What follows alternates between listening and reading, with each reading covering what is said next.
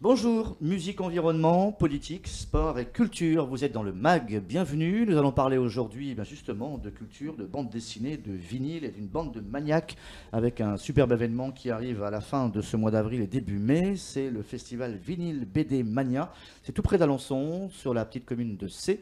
Et on parlera également d'un autre festival qui aura lieu également au même endroit, qui s'appelle Ornecourt. C'est 17, 18 et 19 juin. là, nous parlerons bien sûr cinéma. Avec mes trois invités, tout d'abord euh, notre ami Ludovic Poix, qui est président de l'association Ornecourt. Ludo, bonjour. Bonjour, Didier. Un musicien, Eddie euh, Charny, qui s'occupera également d'une partie un peu, euh, on en parlera tout à l'heure, du cinéma avec des bandes annonces, etc. Eddie, bonjour. Bonjour. Et Maxime, qui est également de l'association Ornecourt. Bonjour. Alors, vinyle BD Mania, c'est quoi? Comment ça marche, Ludovic? Alors, Vinyle BD Mania, c'est la première convention vinyle et bande dessinée organisée dans l'Orne euh, avec un invité spécial et particulier, même unique. C'est l'arrivée de Gérald Forton, le petit-fils de Louis Forton, le créateur des Pieds. Alors, comme il est né assez, on a eu l'idée, de, avec Ornécourt, et tout particulièrement puisque j'avais un magasin de vinyle, de créer cette grande convention et cette grande réunion autour du vinyle. Sachant que Louis Forton est né assez, le créateur des Pieds Nickelés, et eh ben on a essayé de contacter son petit-fils et de l'inviter à cet événement unique. Alors le lien entre justement le vinyle et la bande dessinée, on le trouve comment? Comment ça va se passer au niveau justement de la cohérence de tout cela? Alors, euh, le vinyle et la bande dessinée, ça marche depuis tout le temps ensemble. C'est comme le vinyle et le cinéma. On a des pochettes qui sont réalisées euh, sur le thème de la bande dessinée. On a les plus grands auteurs de bande dessinée qui ont déjà fourni de magnifiques pochettes. Et donc le, mélange se fait très bien depuis des années. On retrouve euh, dans des conventions dans toute la France euh, ce mélange euh, et cette passion. On s'aperçoit qu'elle augmente, puisqu'à un moment, on, on pensait que c'était 80% à peu près d'un événement, d'une convention, 80% de vinyle et 20% de BD. Et aujourd'hui, par exemple, dans, dans l'événement vinyle BD Mania, on est à 60-40. Donc euh, oui, c'est génial d'avoir euh, ce mélange. Est-ce que dans l'esprit du, grand public, on ne va pas confondre justement cette convention où on va euh, donc débattre autour de, ces deux supports artistiques avec une grande foire, etc., où on vend des BD, des vinyles, etc. Alors à, cette occasion, merci à toi Dominique, mais à cette occasion, Gérald Forton a réalisé un dessin unique qui a été euh, sorti en 500 exemplaires, un ex-libris euh, des pieds nickelés. Il a, repris le, euh, donc les, les, auteurs de, de, de son grand-père, les pieds nickelés, et a dessiné les pieds nickelés devant la cathédrale de C.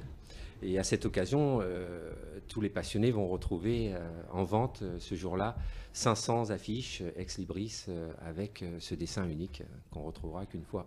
Et à côté, ce que les passionnés, les véritables puristes, ils trouveront leur compte. On parlera véritablement d'une histoire, de la création, des origines de la BD, etc. Ou c'est quelque chose de beaucoup plus ouvert à un grand public sans trop se prendre la tête euh Non, non, non. On, a, on, a, on précise un petit peu parce que euh, ce lien euh, vinyle bande dessinée et donc cette liaison avec Monsieur Forton, avec la famille Forton, c'est assez historique pour l'ordre.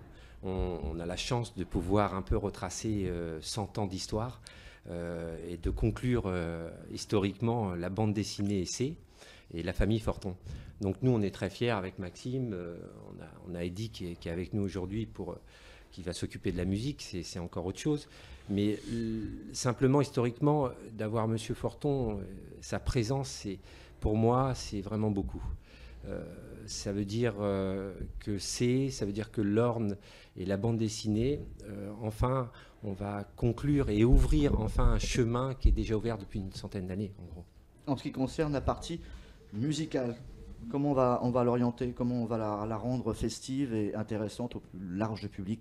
Est-ce qu'il y a des choses qui sont un, peu, pour l'instant, non dites, en tout cas cachées, des surprises? Oui, elles sont cachées sans être cachées. Euh, on a, on a un, groupe jamaïcain qui est, qui est à Londres à l'heure actuelle, qui est dans la promotion de son vinyle, euh, qui devrait être la surprise euh, aussi de cet événement. On n'a pas encore la confirmation définitive de son arrivée, mais on a déjà sous-entendu que Scratchilus et Anne Press Reggae passeraient à la convention du vinyle. Vous les avez aperçus à Lançon il n'y a pas longtemps, je crois. Exactement. Et merci à toi, Dominique, de nous avoir aussi reçus dans ce petit moment unique et, et précieux que j'ai vécu. Mais En, en l'occurrence, euh, je tiens à remercier Eddie Charny et Jessica Rock. Surtout toi, Eddie, parce que c'est une rencontre assez particulière. Euh, c'est un artiste live en jazz qui m'a énormément touché. Euh, je, pense qu'il va en toucher plus d'un, puisqu'il a une sonorité assez propre à lui euh, au niveau de, sa musique. Et puis, euh, de le voir arriver soutenir Ornecourt et surtout Vinyl BD et le festival Ornecourt, euh, là j'en suis encore plus ému parce que il n'y a qu'après que vous allez sentir ce que j'ai ressenti. Alors comment se passe justement l'introduction de la partie jazz euh, Eddie dans, dans ce festival euh, de bande dessinée Comment ça s'est passé justement la rencontre? Ça t'est paru, ça t'a paru toi pardon euh, hyper évident de participer à, cet événement? On s'est rencontrés et ça a été une genre, un genre d'ascension, comme quand on monte des marches pour aller à l'étage supérieur. En fait, ben, un jour, j'arrive devant un magasin de vinyle et il est fermé. Je reviens une deuxième fois, il est toujours fermé. Une troisième fois, il est toujours fer- fermé. Et donc, c'est une époque où j'agrandis euh, ma collection de vinyles jazz. Et donc, euh, ben, il y a un numéro sur la porte et un jour, je décide d'appeler. Et je suis un peu agacé en fait. Alors je dis euh, oui, votre magasin n'est jamais ouvert. Alors apparemment Ludo manque de raccrocher et non finalement il garde le téléphone. On se rencontre dans le magasin en privé. Finalement il y avait personne. On regarde les disques et puis on, on parle de plein de choses de la vie. Et on se rend compte que bah Vous avez des points communs. on a des points communs et euh, on avance un peu sur le même euh, sur les mêmes idées donc euh, dans- au niveau de la musique et, et toutes ces choses là. C'était une proposition de ta part ou de la, de la tienne de participer à l'événement? Bah en fait, fut un temps, on s'est un peu perdu de vue et puis euh, il a re- revu une personne que je connaissais, donc il lui a redemandé les coordonnées, il m'a rappelé et là il m'a proposé le projet qui m'intéressait beaucoup parce que je trouve ça bien qu'on fasse euh, quelque chose euh, dans l'ordre là. Je trouve que ça bouge pas énormément. Ça va peut-être permettre de. Alors sur la partie théorique et pratique, comment tu interviens dans ce festival toi? Alors, euh, il y aura une série de concerts et il y aura aussi euh, la musique du générique pour le Dans le festival dans le festival. Voilà. la partie cinéma. Et euh, avec un petit point commun euh, sur euh, certains films qui ont été tournés, ça va être qu'il y aura une projection de film et il y aura une improvisation musicale pendant cette projection. Et ça, je trouve ça très intéressant. D'accord. Parce que j'avais eu l'occasion de rencontrer un grand, comment dire, improvisateur, Tony Malaby. On faisait un concert commun ce jour-là et justement, je les avais vus développer euh, des inspirations musicales devant ce film et je trouve que c'est très intéressant. Ok. En ce qui concerne la partie euh, euh, BD, est-ce qu'on on trouvera en fait une, j'allais dire des, des gens qui vont vous dessiner, qui vont vous croquer, etc. Est-ce qu'on vraiment on fait une large page à tout ce qui concerne la bande dessinée? Oui. Alors, euh, je vais laisser Maxime répondre peut-être sur, sur ça.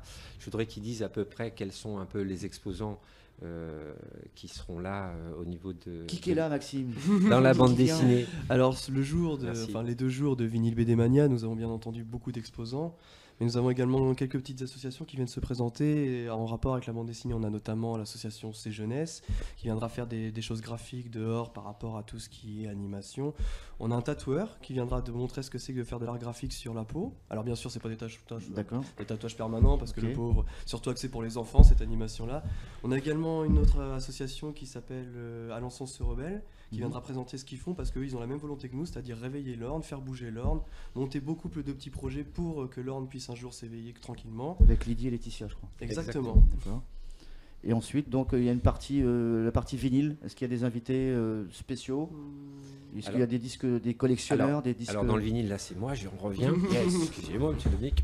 Euh, donc on a des, des- des vrais collectionneurs de, de vinyle. Vous allez pouvoir retrouver euh, les plus vieux rock que vous cherchez. Vous allez pouvoir euh, trouver les petites perles rares qui sont euh, cachées et qui, bon, peut-être ont un prix un peu supérieur aux autres, mais qui sont introuvables. Vous allez pouvoir euh, On sait combien il y a de, retrouver des- il y a de vinyles déjà?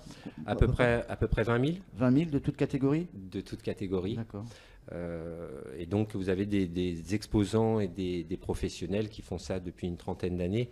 Donc, c'est sûr qu'on vous attend et, et n'hésitez pas à remplir votre collection. 30 avril, 1er mai, un moment donc à ne pas rater. Ça se passe donc assez, c'est dans l'Orne, un département qu'on ne traverse pas que pour aller à Paris, avec donc une proximité d'Alençon. C'est de 9h à 21h pour la première journée, de 9h à 18h pour la seconde. Ça s'appelle Vinyl BD Mania. Ludo, Eddy et Maxime, merci de nous avoir donc euh, permis de parler de ce bel événement normand. Au revoir. Au revoir, merci.